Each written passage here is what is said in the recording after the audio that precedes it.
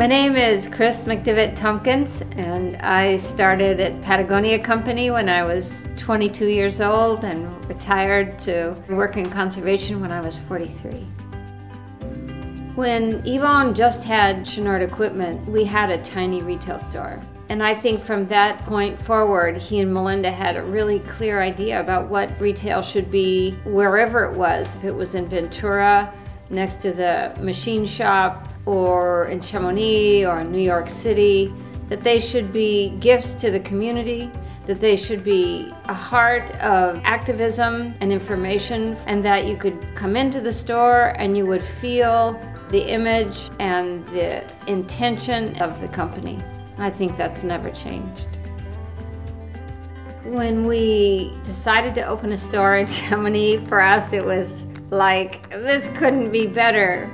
I was an old ski racer. Obviously, you could ski off piste in Chamonix, you could go hiking in the summertime. You know, for the last 200 years, all the best climbers from around the world have been drawn to Chamonix.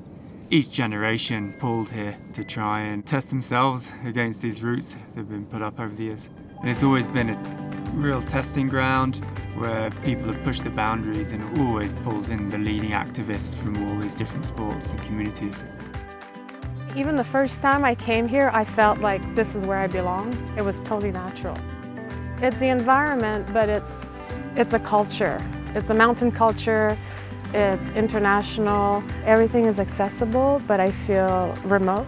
And I just love the big, massive peaks. And I say that coming from British Columbia. photographe, je vis à Chamonix depuis euh, une vingtaine d'années. Il y a une ambiance euh, dans cette vallée, une vie, il y a un côté cosmopolite, il y a un côté de rencontre. Il y a eu toute l'histoire de l'alpinisme sportif qui s'est quand même euh, écrite en partie ici. We had a flat rented and we all pig piled into the same flat. Classic Patagonia, always living on a shoestring, trying to get the company going. And Chamonix really was part of that spirit. Luckily, we had the most incredible people setting up this store, and they were funny and irreverent and incredibly talented in terms of decorating. This store had huge picture windows in the front and they filled it with trash they accumulated off one of the glaciers nearby. And that was the spirit of that store from the beginning, and that made it extraordinary. Un employé heureux, c'est un employé qui, a envie de venir travailler le matin avec le sourire, qui sait que s'il a une passion euh, dans la vie, il peut l'assouvir, euh, qu'on peut toujours trouver un moyen de s'arranger. Euh. Je m'appelle Rock Malnuit, j'ai travaillé 10 ans chez Patagonia au début comme job d'été. Et je suis aussi base jumper. Et aujourd'hui j'ai une école de base jump pour former les gens à, apprendre ce sport. c'était normal d'avoir une pause au magasin pour justement aller faire les, sports qu'on aimait. Et donc moi c'était le base jump. Et il y avait un copain qui m'avait organisé un petit peu euh, un saut euh, à l'aiguille du midi, c'est quelque chose qu'il avait repéré. J'avais les clés dans ma poche, j'ai fermé la porte, on a pris le téléphérique, on a traversé, on était au bord du spot, c'était un nouveau saut. On a fait un saut en wingsuit d'une minute et euh, j'étais capable de rouvrir le magasin à 3 heures et voilà, tout ça en l'espace de, de 2h30 de temps, c'était incroyable. Je m'appelle Sarah, j'ai grandi à Chamonix, je suis tout le temps en montagne. J'enseigne le ski et le snowboard l'hiver et puis depuis trois ans je garde le refuge de la Charpoix. Charpoix, c'est un peu euh, le cœur euh, sauvage euh, du massif. Je fais partie d'une association Bouch à Bouch.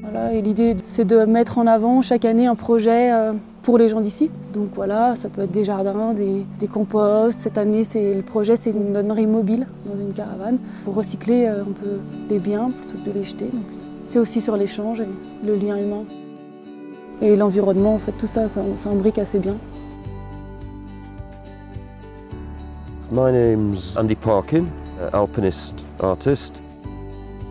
This is what I like doing most, I think, being in the mountains, painting. You see, there's a, quite a, a dramatic difference in the painting that I did start 25 years ago. More or less this view we've got here. That glacier filled the, the whole V shape formed by those mountains. and now it's going to disappear almost out of view. The mountains, as we know, and the polar regions, it's like the barometer that show the change to begin with. They're the most fragile zones we've got. I think Chamonix became the place to open a store because it represented sports that we were really interested in. I remember exactly what the scene was. Sort of the front end of the really extreme skiing, early snowboarding, a lot of climbing going on. When Yvon came to Chamonix, it was kind of obvious to him that this would be a great place for a hub of the Patagonia community.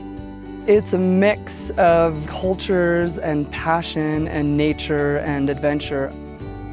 Yvon and his friends, they had this beautiful and kind of crazy history with the town, so it was a logical place for us.